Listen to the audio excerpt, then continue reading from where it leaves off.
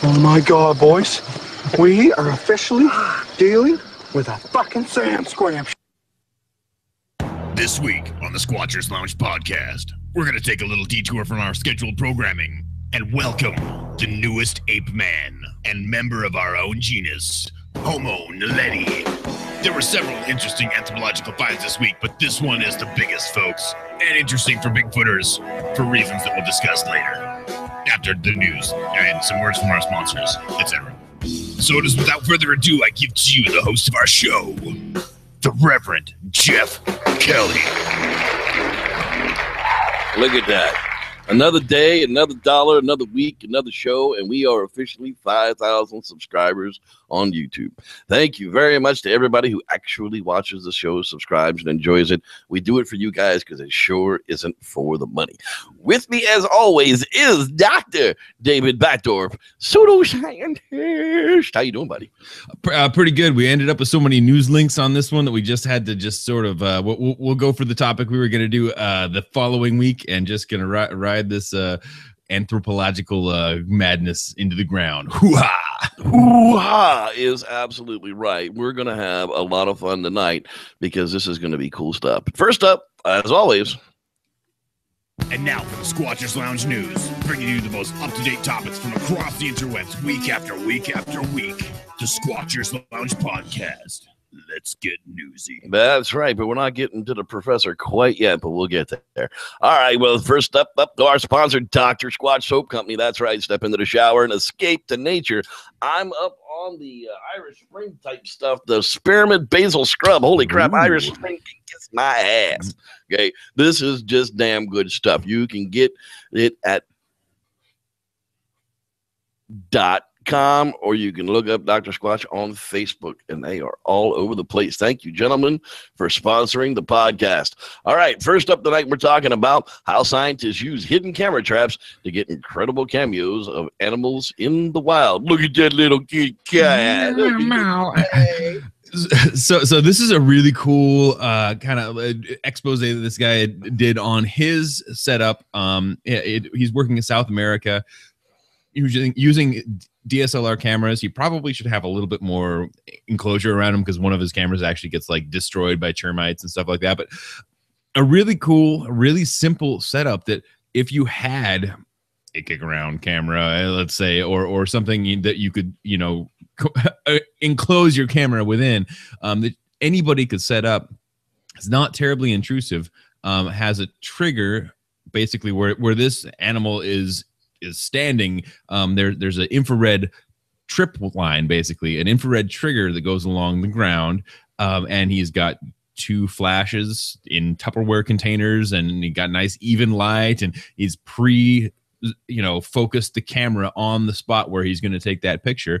Um, and basically he's got this huge collection of these really amazing shots up close of these critters where he just left his camera out in the woods or in, in, in the jungle technically uh, for you know weeks to months at a time so a really cool look at like get, definitely uh, you know if if, if i had uh, had the means or a little bit more gear could really put something like this together pretty easily That's just fantastic looking close ups, but it's definitely not from your regular old camera trap. That is for sure.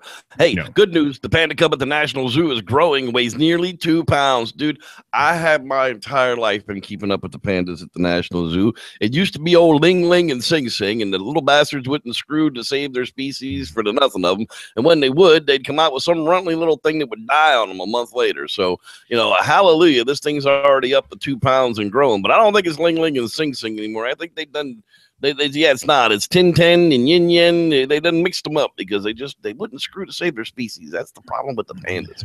But uh, look at that little guy. I'm so huge. they're they're adorable and the pandas even in the wild which is why they're having so much trouble um, dealing with you know the pressures that they're dealing with is that their mortality rate is just so high um, because they're they're so hard to rear on the the nutrient poor diet that they have anyway but they're adorable and we'll we'll give, give this little guy the the go for it dude That's right, man. Get bigger, become a big boy, breed for another year. Anyhow, just blame Bigfoot for the inability to bust illegal pot farmers safe. What? Yeah. So the Texas law enforcement get this tip from uh, some hog or some hog wranglers, I guess that they call them hog hunters, that there's a, uh pot farm and a pot camp up in this Texas National Forest area.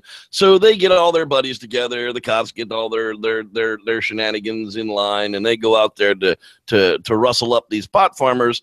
And sure enough, they come across these Bigfooters who are out there looking for Bigfoot just to stick in the friggin' program here. Um, I- don't think the Bigfooters were really trying to stop them from finding the marijuana guys, but uh, apparently the Delta County Sheriff Rick Smith told reporters that the crop, which was estimated to have a value of around six million dollars, was the largest discovery of marijuana found in his career. So they got the crop, they got all the plants, woohoo! They can parade it around on television. It's gonna be legal in another friggin' year or two, anyhow. Woo! I'll get to let all them people out of jail anyhow. I don't know what you're trying to put them in jail for in the first place. Anyhow, uh, according to NPR, the illegal cultivation operation had been there since around May. The growers had it fully equipped campsite, complete with generators, watering systems, and camouflaging materials. That's how it gets done, folks. Thanks to High Times for that one. What do you think, man? Bigfooters screwing up the pot farms? I'm pretty sure that the Bigfooters were just a part of the story alongside. They, I don't think they were actually impeding anybody's, you know, ability to to to to bust what they actually busted. So I guess the question though is, you know, is Bigfoot eating pot and getting hallucinations on the highs? Maybe that's where those orbs are coming from. Who knows? Anyhow, apes do the darndest things. That's right. Chimps displaying hunting, foraging skills that may have served early hominids just as well. That's kind of creepy, dude. To think that these things are evolving to the Stone Age and they're going to start hunting us, I think, before too long. The chimps are pissed, man. They're just pissed at the humans. What's Well, going on here, brother? yeah, yeah. Here, here, here's the here's the thing is is basically we're just giving the Stone Age back to the chimps. They're not evolving into the Stone Age. It's like, oh wait, well, the more we look at them, the more they're doing all these things already. Okay, I got, I get it, I get it, I get it. Um, you know, they, they probably were doing that the entire time, which actually makes you have to look at the different types of tool use that we're talking about. Um, and uh, you know, when we refer to the Stone Age, we're not refer we're referring to actual crafting of stone into tools. Um, so to say that the chimps are crafting tools, maybe they're into the wood and stick age, but our, but our you know um our common ancestor may have been in the wood and stick age when, when we left that together. So that, that that's a very interesting question actually you know so if chimpanzees can still do this and they didn't need to evolve their tool making abilities and then we did that would make total sense that they would still have this very primitive um, thing. And so it's not that they're doing the darndest things or that they're they're learning or it's going to be some sort of like planet of the apes uprising anytime soon. It just means that we're probably both doing the same damn thing six million years ago and then they just stuck with it where we thought it wasn't good enough right on. Well, that's how the apes do the darndest things. 12 theories of how we became human and why they're all wrong. Thanks to National Geographic for telling us all of our theories are wrong. Mark Strauss of National Geographic tells us, well, we make tools. And this is the whole thing we were just talking about. Todd, Oh, tell yeah, me about we- I, I was gonna say we, we've we've uh, yeah. As you scroll down, we've talked about all this stuff. You know, we're not the only species that makes tools. However, a bilateral hand axe in, in the Acheulean tools of Homo erectus, that's very much something special that the chimpanzees cannot do. We're killers. Well, uh, we've talked about the killer chimpanzees and how they're wiping out entire you know species, and then they're they're gonna hold up you know uh, like uh, probably a Afarensis, Australopithecine, yeah, Afarensis uh, child there, and um, talking about how they were killers and killed each other, and you can see the fractured skull line. Okay, uh, we're the only ones who share food, and okay, so we've learned that there's a lot of this food sharing, and maybe they were talking about uh, is it the Dmanisi specimen where they fed the man who had no teeth? Okay, um, you know, we swim in the nude. Well, we know there's lots of aquatic apes all of a sudden that are swimming all around. Maybe not apes, maybe uh, other simians. But I saw know- an orangutan in a damn canoe the other day. Okay, just with a baby under his arm, just like using his hands for paddles. It was just going down some damn creek in orangutan country because it saw some human do it. Yeah. Fantastic stuff. Anyhow, we throw Yeah, stuff. so we throw stuff. Well, a lot of other things throw stuff, Uh, and we've oh, monkey- actually we had a um, monkey that threw poop. Yeah. um. So so the the fact that uh it- the, you know we've actually seen um, chimpanzees actually hunting with with stones at least to stun animals and other things like that. Okay, so yeah, we're, we're not the only you know this is not part of our uh, evolution um, we hunt well we've seen organized chimpanzee hunts we finally filmed that a few years ago okay we, We trade, trade food for sex. sex now Mm, I wish. hey, baby, I got a double. I got a double double animal style going on over here. yeah who who who who doesn't anyway no so basically it's you know talking about how we um used to carry food around to to trade for uh for mating and that's why we've been no no this is- these are just kind of you know other theories uh well, we, we They hang out with us because we got the meat. That's the way it's always worked. The more meat you got, the more chicks are on your ass. Anyhow, sorry. Okay, we eat so- cooked meat. We cooked meat and that's why our you know our big hungry brains and that's why we got all okay so the, i can if, if we, just keep going down this just really ties it all together um yeah uh and uh, uh so you know we we we we adapt okay everything adapts that's why it's still here there's things that aren't adapting fast We enough unite and conquer. we unite and conquer well I thought we divide and conquer. I yeah, yeah, and may- conquer. may- may- maybe maybe that's that's the same too. Uh, and uh, you know, uh, so basically, why all of these theories are wrong is not exactly why National Geographic is saying them in this article. They're talking about the the individual fallacies of it.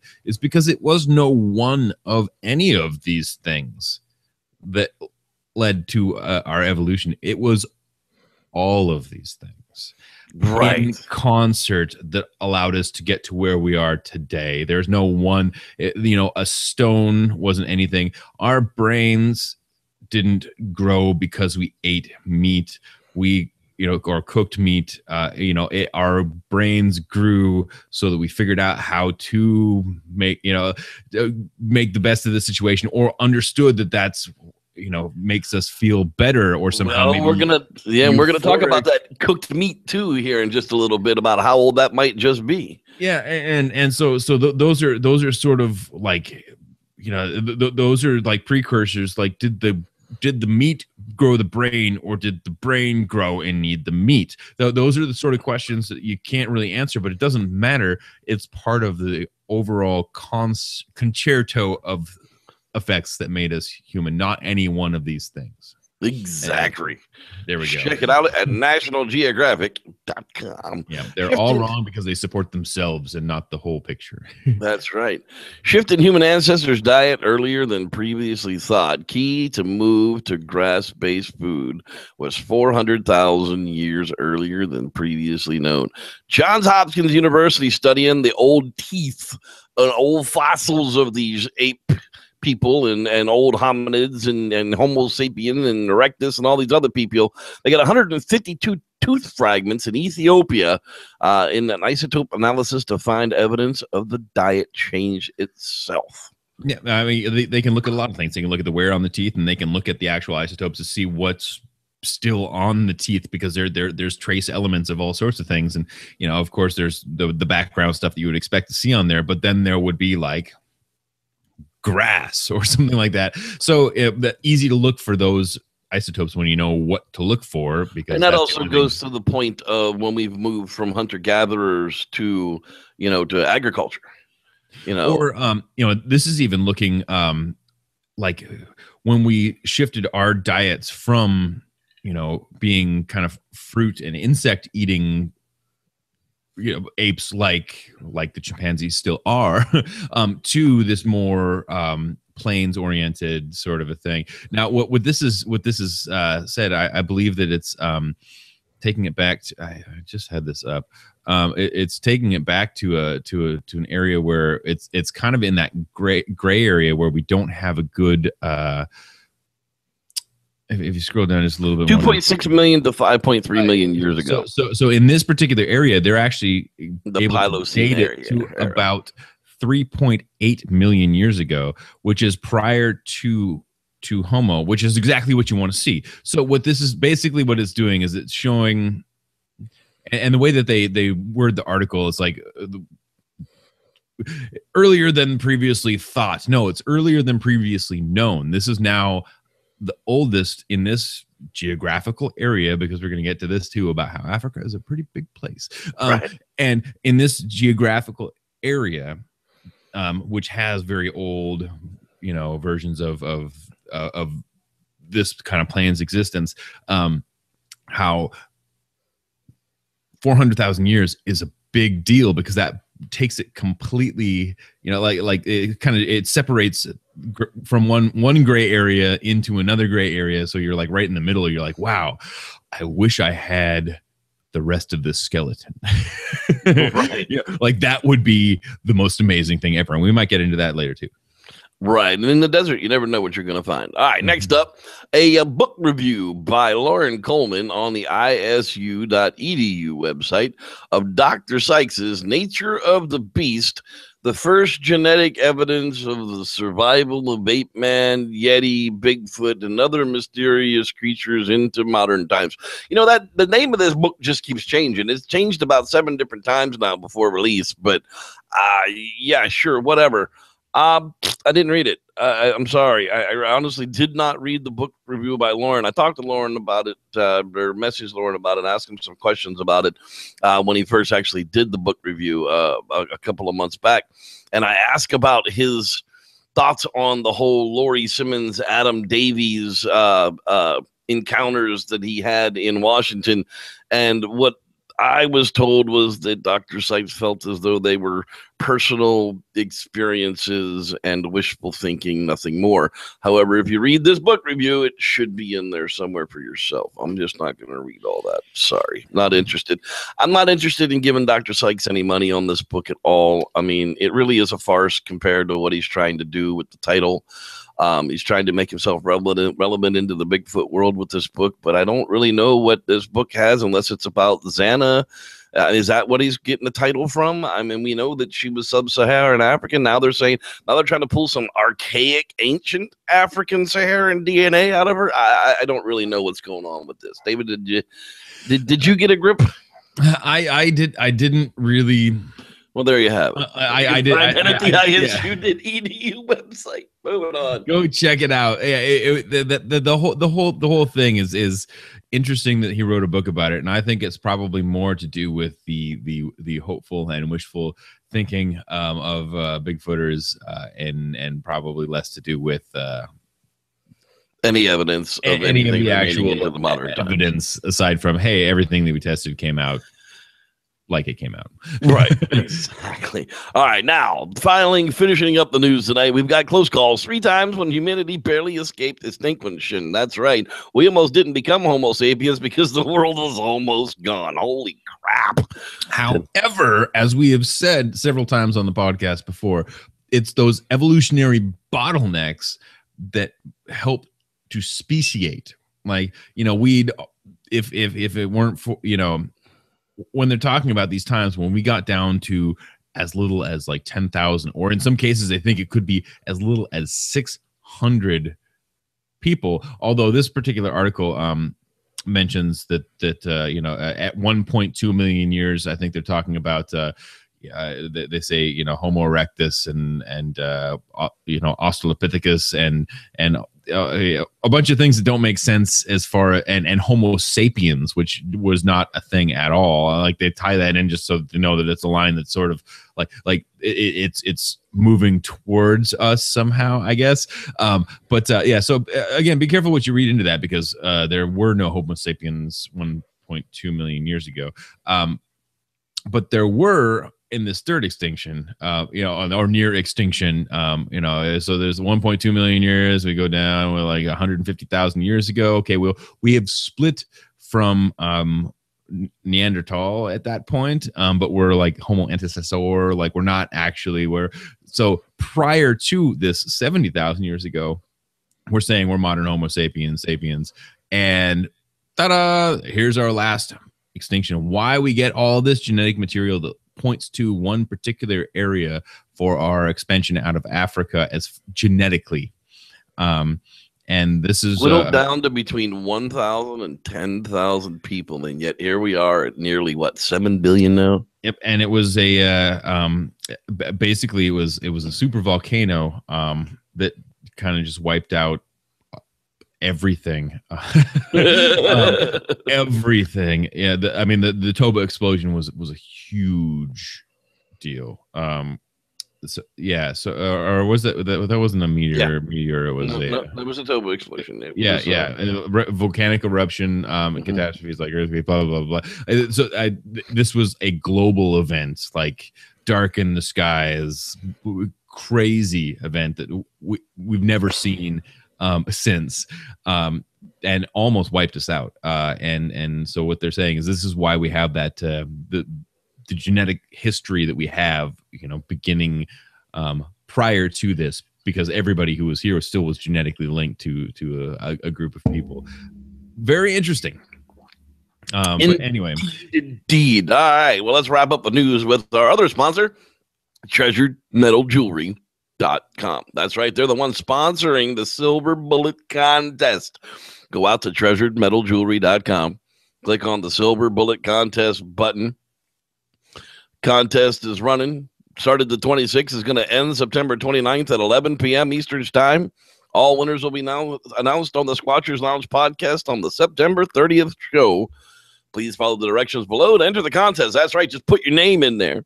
Put your email address in there. Under subject, just put in enter me and under the message. Tell them Reverend Jeff sent you. Click submit and you're entered. That's right. We're going to pull the lucky names. We got one two ounce winner, one one ounce silver winner, and three solid copper winners. That's right. Uh, They're going to be bullet replicas. They are really cool. They make a great pendant. Uh, I talked to Joseph this week, and he had mentioned that they've got some new pieces in. Uh, the wolf horse, the wolf tooth uh, is up on the website. Uh, solid silver skull is now available. A peace sign in in the in the leaf. Yeah, they're up there as well. He's got all kind of neat pieces up there for sale. There's a nice cross online there. Kitty Cat, he'll do some special order stuff for you as well. He'll mount. There's one of the there's one of the copper pieces mounted up. Boy, that looks really really nice. Uh, mount up some some uh, custom coin jewelry that really really looks good. Uh, they're they're just they can make incredible pieces. So check them out at treasuredmetaljewelry.com. Okay, guess what time it is? It's time for our tip of the week. As soon as I can get up the screen here and get back over here and get this off my screen, I have to bring up the picture because, well, it's just that important. So we'll talk to you in just a minute after our tip of the week. Oh God, where did I put it? I had to move everything around. I did. I moved everything around that I have no clue where I put it. So I'll just put another copy of it up. And here we go. And now it's time for Rules to Squatch By with your old pal Wes. Number 46. Be more like the great adventurer Kip Pretty Pants Moral. Take more selfies. You never know what might be lurking behind you. And if anyone's going to get anything, it's going to be Kip. He takes a hell of a lot of selfies. Come check out my recent work and my art for sale at weslosner.com. Stay squatchy, my friends. That's right. Now that'll probably be the last one of our tip of the week's uh, rules to squash by with your old pal Wes. Not because he's going anywhere, but because we've turned it into a whole new bit. And now, seeking enlightenment with your old pal Wes. Brought to you by weslosner.com. That's oh, right. Join us. here. Yeah, join us next Wednesday for Seeking Enlightenment with your old pal Wes. Thanks a lot. Check it out at weslosner.com. Okay, Davey, guess what, buddy? It is absolutely that time for the topic of the week. And now for tonight's topic. That's right. We got all kind of craziness going on here, people. I got this thing that came across my desktop. I said, "Oh, now that's something new." And I think this is going to be quite interesting. So why don't we go take a look at this? Um, six tiny cavers, 15 odd skeletons, one amazing new species of ancient human. Now, we're just hearing about this for the first time. Why? Because this was real science. Scientists found it, they studied it, they found out a shitload about it, and then they released the findings to the public. That's how real science is done. Hey, David? yeah I, I mean like everything else like anthropology it like the anthropological sciences are pretty much as ruthless as the bigfooters. I mean there, there's a, a bunch of people and i'll get into this in a little bit they're like well not so fast. Well they're not saying that they didn't find a bunch of bones and they're not saying that this isn't a really important discovery. What they're saying is, well, you haven't got an appropriate data out of the bones and yada yada yada. But let's just think for a moment that the the science that they that what they have been able to get because I mean this this sort of stuff takes time and and yeah you get excited and you might you might make some leaps and you might say some things to some reporters and then that's what they put on National Geographic versus or, um versus what you actually put in your paper etc. So what what we are seeing is a very interesting mosaic of homo traits like of of like Well, you know, we, we do have that piece to play. Let's let's play that professor piece. Uh, he does, he does burger very very good job of explaining what they're trying to convey and i yeah, he's going to give us a, a good yeah. introduction to it. So let's Yeah. take a listen to Professor Lee Berger introduce Homo naledi. Yeah. I'm Professor Lily. Lee Berger. I'm a research professor in the Evolutionary Studies Institute at the University of Witwatersrand, an explorer in residence at National Geographic. And I'm here to introduce to you a new species of early human ancestor called Homo naledi.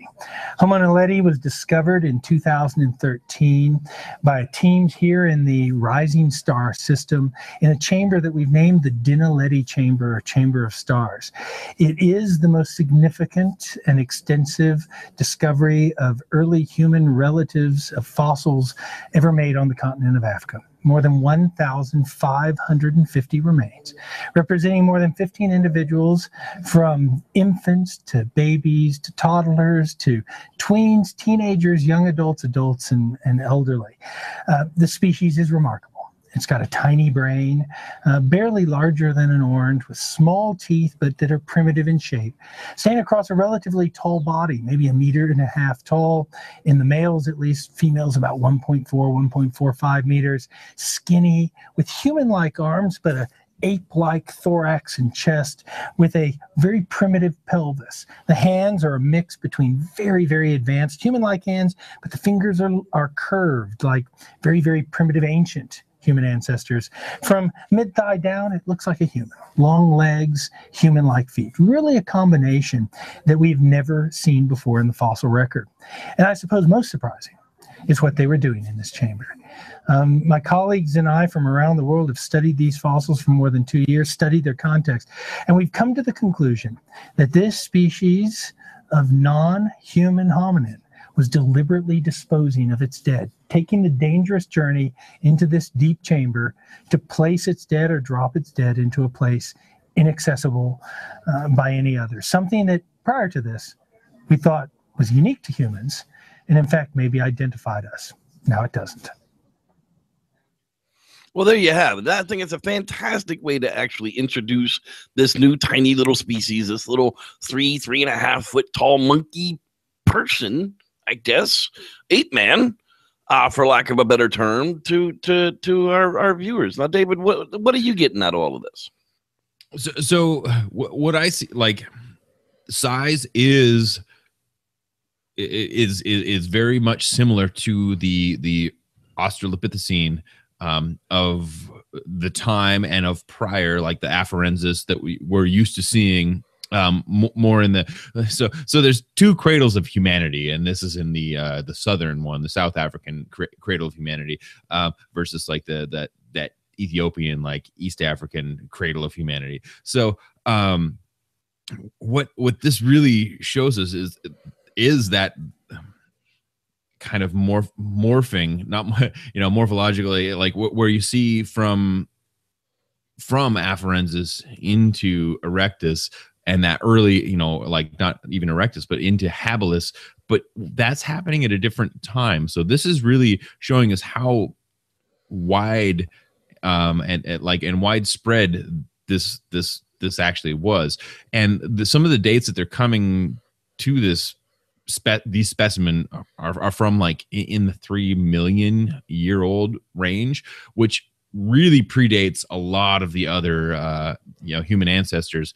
Um and if you want to say that those were the discoveries of um you know like the the, the habilis and ergaster coming from that ethiopian area um this is something that's that's uh you know radiating through africa. Um the interesting thing is that there's some similarities between these guys and some of the morphological features, at least in the skulls and and and and the primitive features that we see in the Dmanisi specimen, which you would expect, you know, the more primitive radiating um, as you radiate out from, let's say, our our uh, gene pool center, um, if you will, like you would expect to see older and older looking variants as you go out because there's less diversity to to to go through. So it's really interesting that this is kind of showing us everything that you would expect if you were to find something at this age at this time everything that you would hope to find to kind of confirm yes this is exactly what we would expect to see. So uh, this was a climber it had a rib cage for climbing trees. It was probably, um, you know, they, they were definitely spending more time in trees than any of our other ancestors that we've ever known about in the Homo genus. And the reason we're putting them in the Homo genus is there's two reasons. One is because they appear to have a fused toe, almost indistinguishable from Homo erectus. Um, and two, because to navigate these corridors in this cave even millions of years ago, you know, looking at where collapses may have happened, this may have happened, that may have happened. There's probably some pinch points that, that these cavers had to deal with that, you know, the ancestors didn't. Um, but to get as far back as they, I mean, they, they were, I think it was like six or 700 meters back in this cave, would have had to have had a light source. Yeah, it said almost immediately the team hit several narrow pitch black corridors, a knife edged ridge called the Dragon's Back with steep drops on either side, and finally a 12 meter chute. It's a long crack punctuated by shark teeth protrusions. Yeah. I remember looking down thinking, I'm not sure if I made the right decision. It's Yeah. like, why? Yeah. why? Oh, why did I you have choose to go through all of that. Then at the bottom, they ease down to the area they call the landing zone before entering the fossil filled trove that they call the 101 chamber. On the first day, they excavated a single bone, a mandible. It came out, and we said, wait a minute, this isn't what we thought. You know, stop everything.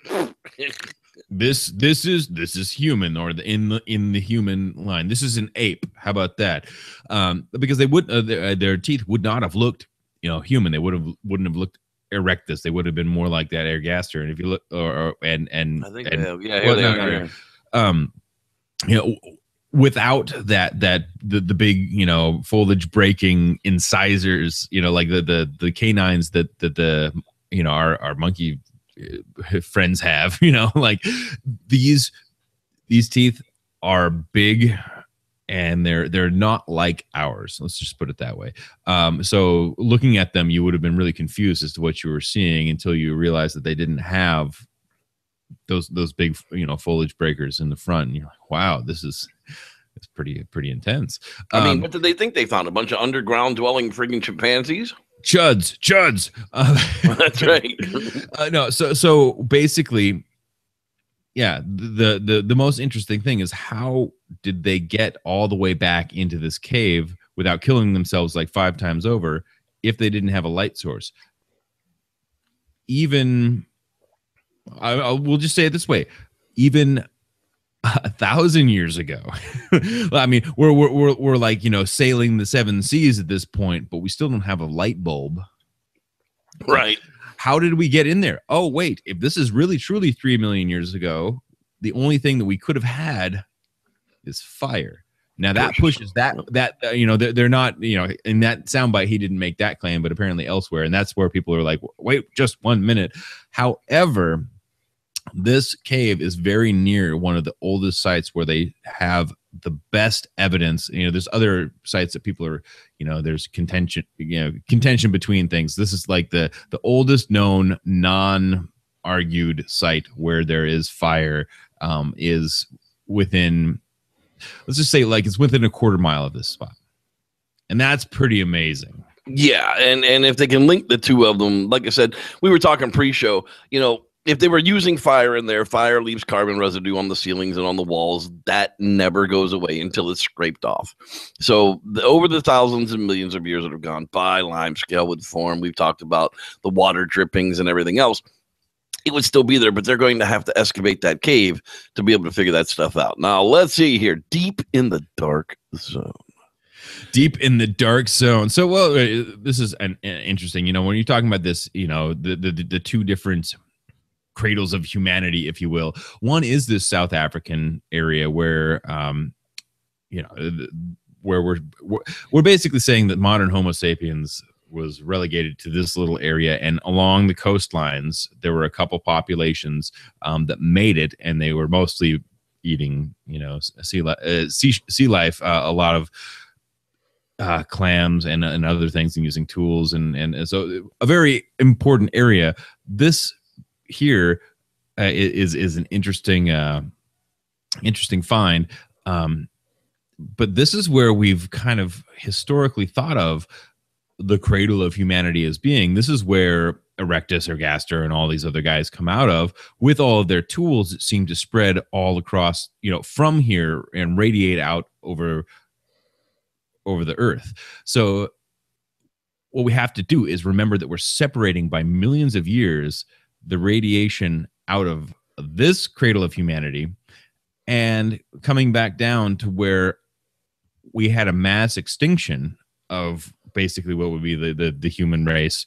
And this is where we were left at the end. So the, the, there's important parts of both of these um, but the, we have to, you have to the, the two things have to be completely separated by two million years.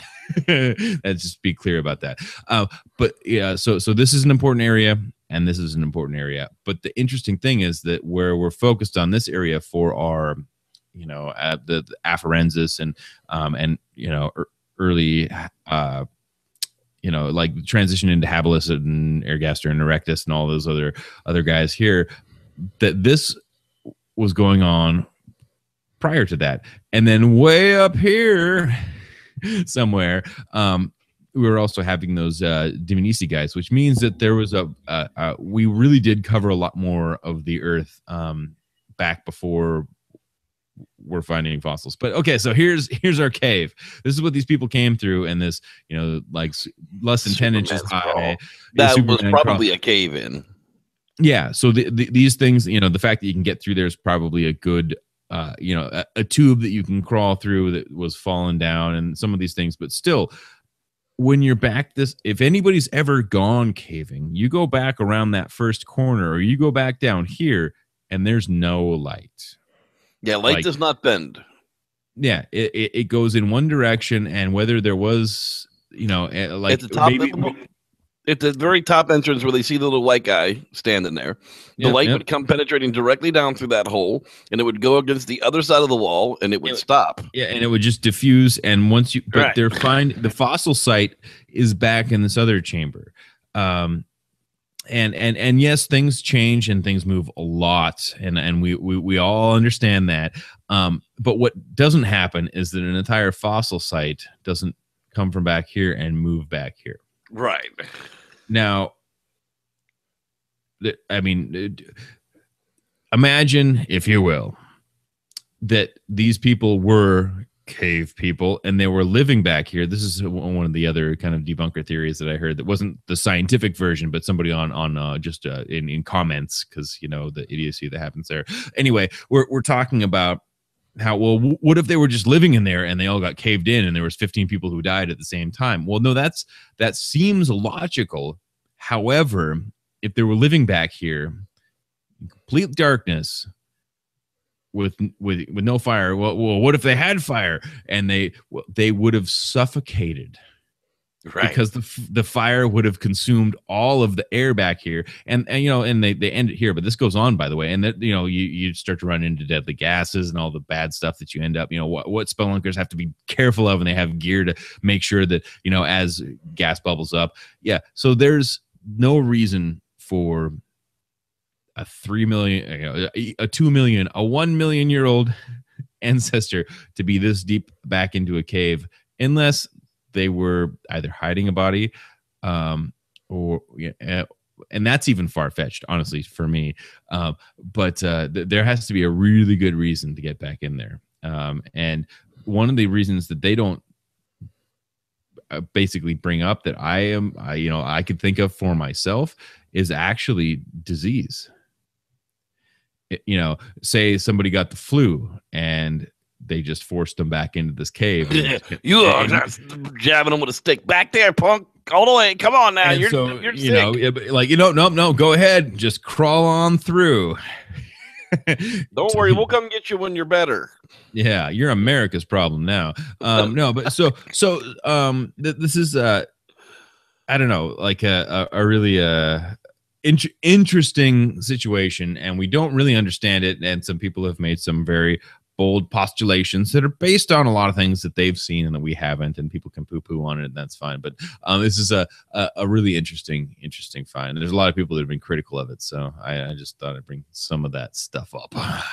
For sure, my man. I mean, dude, it's like every time there's a new hominid found, everybody, oh, it's not, you know, that doesn't prove anything. Well, this thing has feet just like ours. That actually kind of means a lot. It's one of the things that we've been looking for is to find another upright walking bipedal species like ourselves that you know actually would have a remnants leftover population at some point to become the Sasquatch. All right, David's got the All right. world up for us here. He's going to show us what's going on.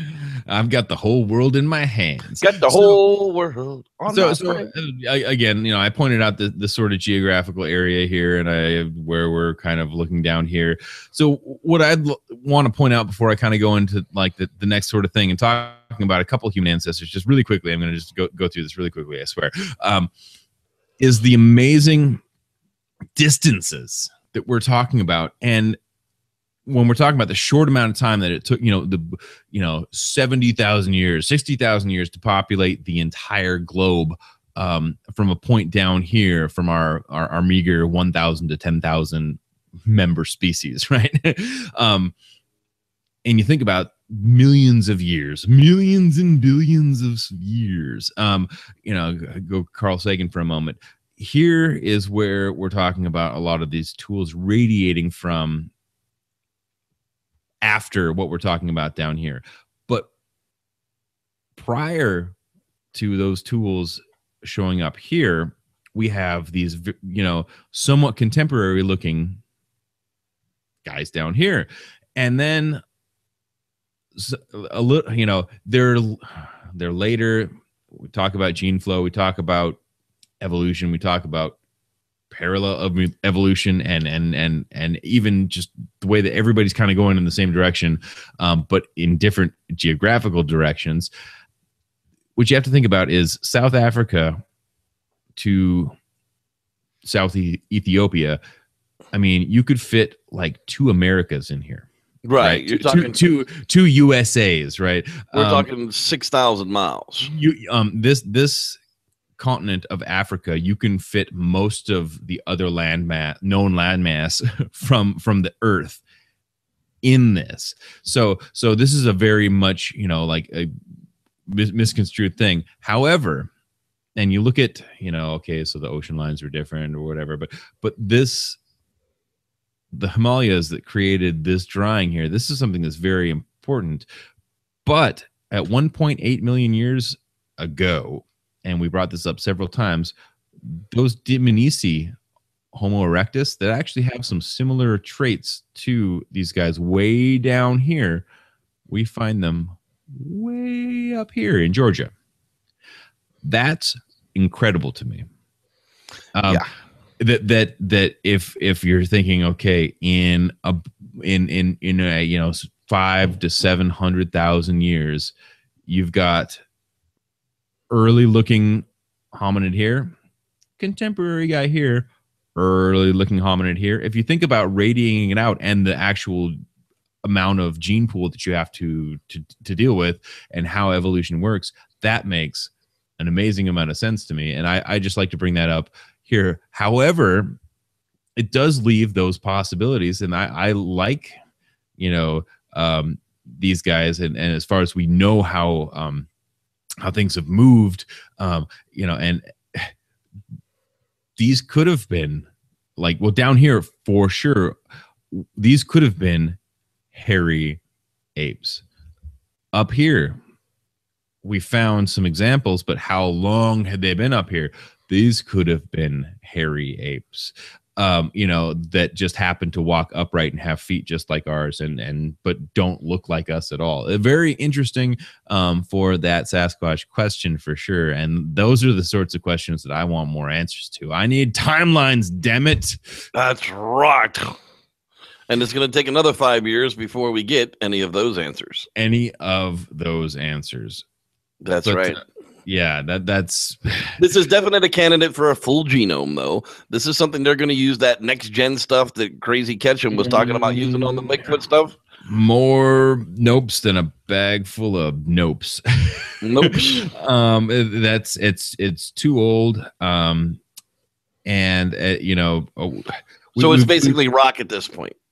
yeah there, there there's there you know you can get the isotopes from from data off of teeth maybe ish um, depending on how it was preserved. Um that would be interesting for sure. Um and and might actually you know that there could be carbon you know we we there there's some data saying that uh, um, some of our early ancestors may, may have eaten uh, charcoal um, for supplement. Um, you know and they can they can see that like well they actually must have had fire if they were eating charcoal well, yeah, if they were eating well, or they were discovering, you know, charred plants after wildfires, or yeah uh, but uh, yeah so, so of course there's always that the, the skeptical mind but like uh, um that but that's what science is there for right yeah i mean it's, it's- right. it's- well, charcoal also purifies water. That would be a way that you'd have charcoal introduced into the system. So, Yeah. but charcoal would still require fire for that. If you're purifying yeah. water, then if you, you drink dirty water you chew up some charcoal and try to purify it in your stomach might work you never know.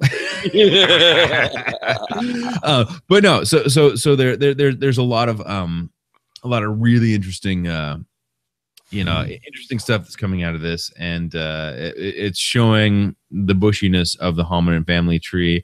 Um and it's basically it, it the more information that they're going to get from this and the more that they can date it and the more that they can do comparative studies. And i would love to see somebody do a study like from south africa ethiopia and say they're they're from a similar enough time like within like you know a, a few hundred thousand years of each other and do a comparative study between the Dmanisi peoples people the fossils from the same time in ethiopia etc that would be a fantastic comparative study and would probably teach teach us a lot about how evolution works. Um uh just in general amazing stuff I want to. I want a time traveler machine. I want to be able to go to the future and see how this shit all worked out. Yeah. Anyhow, folks, that's actually going to do it for this edition of the Squadrons Lounge podcast. I hope you guys have an idea where it fits. I like it. I like the thing. It shows that there are other species out there with human like legs that walk upright. Just like I've always said, we're going to find more and more species as the as the spiderweb evolution, as I call it, is going to move out from there. You know, the family bush, because it's not a tree, it's definitely friggin' bushes and little bastards that spread out everywhere. That's what the and and and the, the the more we we confine them to geographical areas where we where we have found bones um which is the appropriate thing to do because you can't say that they're up there when you haven't seen them up there or down here or over there like so when we continue to look and we continue to scratch the surface and we continue to have these finds um we'll continue to kind of shape our idea of how our ancestors moved and hopefully someday that leads back to Sam Squanch. Tom Squanch. That's right, everybody. Well, that's going to do it for the Dr. David Batdorf, pseudoscientist. I am your host, the Reverend Jeff Kelly. We say thanks for watching. And May, whoops, that's not the picture I wanted to put up there. Um, God, I am just all thumbs tonight. Thanks for watching, and may the Squatch be with you. Look at that, I even found the theme. That's a handsome chap, by the way. Oh, dude, yeah. The guy, the guy who does those reconstructions, is, Total stud. He is a, a monster. He's really good. Next week, join us. I think we're going to talk about something in Patagonia. All kind of strangeness going on in the Bigfoot world these days. Drama's not what you're going to find here. That's for damn sure. Nope. The bucket still got plenty of room, people. Hey, go freaking sign up for the Silver Bullet contest. TreasuredMetalJewelry.com. I want to see a whole bunch of entries tomorrow. I mean it.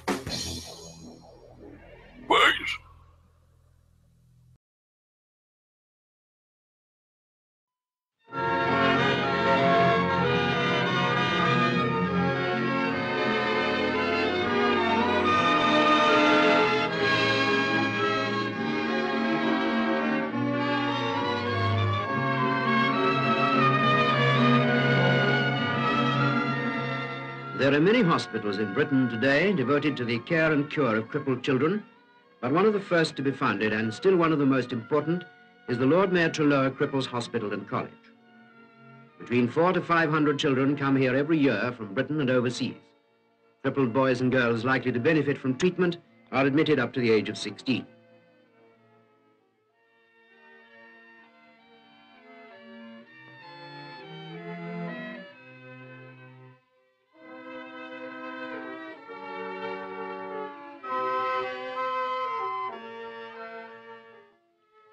Most of them are children crippled by diseases acquired in childhood or suffering from deformities at birth. Here is a child brought to Treloar's to find health and strength. On their admission, they go to an observation ward for a period of quarantine.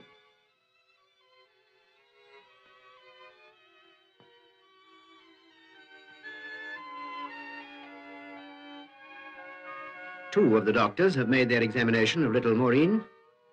She doesn't seem to have found it very alarming. The doctors are followed by the head teacher, for while this may be a hospital, it is a school too, and during their stay, the children go on with their schoolwork in the usual terms. Their education is unbroken in spite of a spell in hospital. The X-ray room is a link between the remedial and the surgical departments. The X-ray photographs reveal the effects and extent of the disease invisible to the human eye. The X-ray has shown the need for an operation, and the honorary surgeon examines the plate while sisters and nurses prepare the theatre. The theatre has full modern equipment. The operating table has been specially designed for children's needs and can be adjusted to any required position. Lighting is by a single lamp which casts no shadows under the surgeon's hands. This air conditioning plant gives the best aseptic conditions. Vitally important in all operating theatres is the sterilizing equipment. This is one of the recessed type. Over 600 operations of 50 different types were successfully carried out here last year.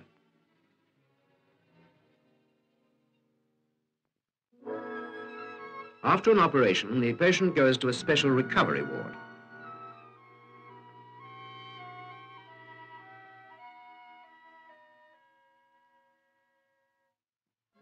Another important department is the plaster room, for many of the patient's limbs must be supported both while they're still in bed and later when they're well enough to get up. Here, Sir Henry Gauvain, the medical superintendent, is making a plaster cast for a child's hip. The bandages are prepared by spreading plaster of Paris on muslin strips dipped in water before being applied, after which they harden almost at once. Sir Henry Gauvain has been the medical superintendent since the hospital was founded by the late Sir William Treloar in 1908. And the impressive number of cures that have been effected since that date is due in a great measure to his untiring devotion to the children under his care.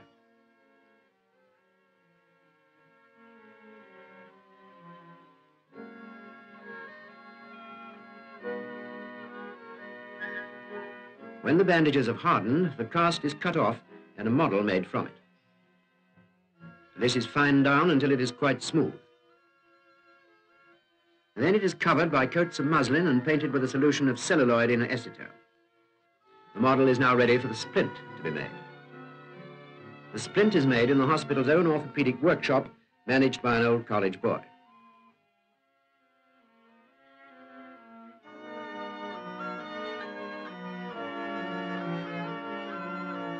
Over 4,000 surgical appliances needed by the hospital have been supplied by this workshop. Treloar's has its own iron lung or drinker apparatus. This instrument is vital for the treatment of children whose respiratory organs have been impaired by infantile paralysis, and a special staff trained in its correct use is always available day or night. On being sealed inside the lung, the patient is made to breathe by a regular alteration of air pressure. The air presses on the patient's diaphragm and thus brings about an involuntary emptying and filling of the lungs.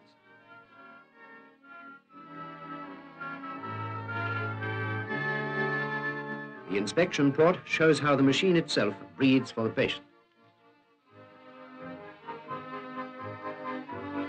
In this light department, science plays a different but equally important part. Here, artificial rays of various types are used to combat skin diseases and other ailments.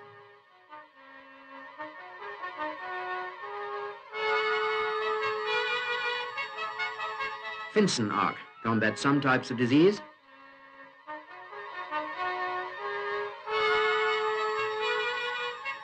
Tungsten arc others, particularly tubercular glands.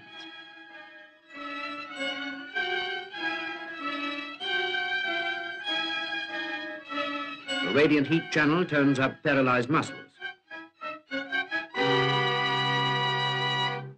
Does he feel toned up?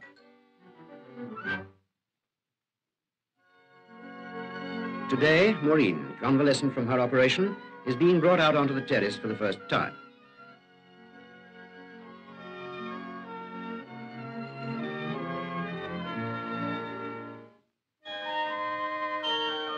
The hospital is designed so that natural sunlight can be used to the fullest advantage.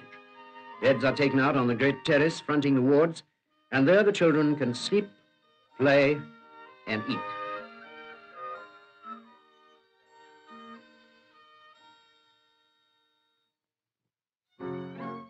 Another important branch of the hospital's work is carried on in this treatment center. After months or perhaps years in bed, rehabilitation is necessary. The children are brought up from the wards in electric trolleys and taken into this exercise room. Muscles must be strengthened and children taught to use their limbs again, even how to walk. Most of these exercises are done to music.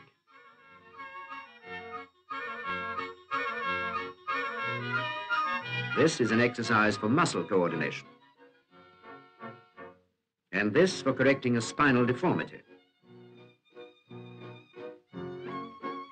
This machine helps the cripple's first attempts to walk. And these exercises strengthen backs and legs. Massage is given by sisters and nurses with special training in this type of therapy. The hospital vamp is privileged to take her donkey anywhere, even into the pool room.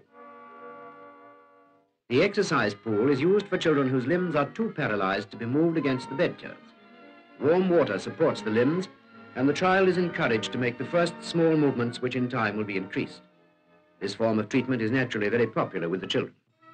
The children spend a large part of their lesson time in the open air. Primary and secondary school education are both given. The children are grouped in wards as far as possible according to their standard and ability, so that a ward becomes a class. At the same time, tuition is given to each child individually, and each child is encouraged to get on by itself. Thus, the pace of the class need not be that of its slowest member. For the under fives, there are special toys.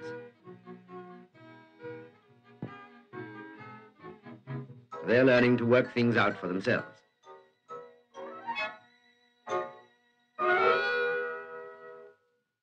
For those more nearly cured, lessons are right out of doors whenever possible. The cripple's tendency to feel that they're cut off from ordinary life is counterbalanced by their opportunity of mental development, and the companionship of Treloars prevents the patient from becoming lonely.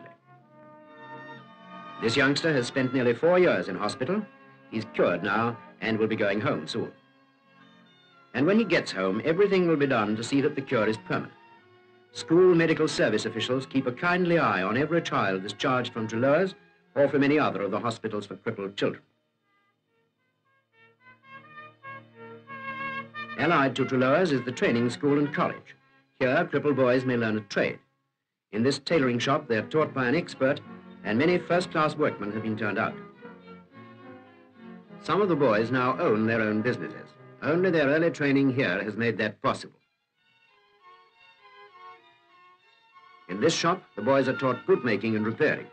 As with the tailoring shop, the hospital is the chief customer. Here they do all the repairs and make all the surgical footwear for the hospital and for 14 other orthopedic clinics in Hampshire and the Isle of Wight. Treloars is the largest hospital school of its kind in the British Isles. Since 1908, over 10,000 children have been treated. Over 9,000 have been discharged with their disease completely arrested. In one recent year, every patient suffering from tuberculosis of the knee was cured. Of all the children treated today, over 90% are assured of a cure. Crippled child need no longer be a lonely outcast. The cripple can be cured.